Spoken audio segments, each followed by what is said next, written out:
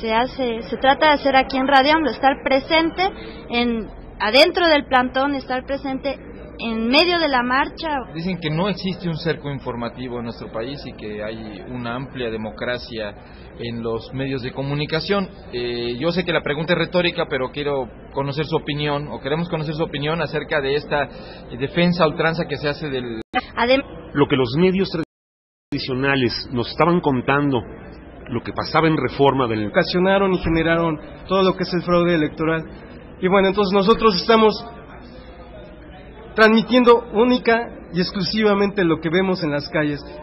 Se habla mucho del concepto la democracia en las calles, la información en las calles, y ahí hemos estado en las calles. Normalmente estamos transmitiendo en lo que es el papel de los medios convencionales, a diferencia de lo que nosotros hacemos, que le estamos dando voz, voz a la gente. ¿Cuál es el alcance?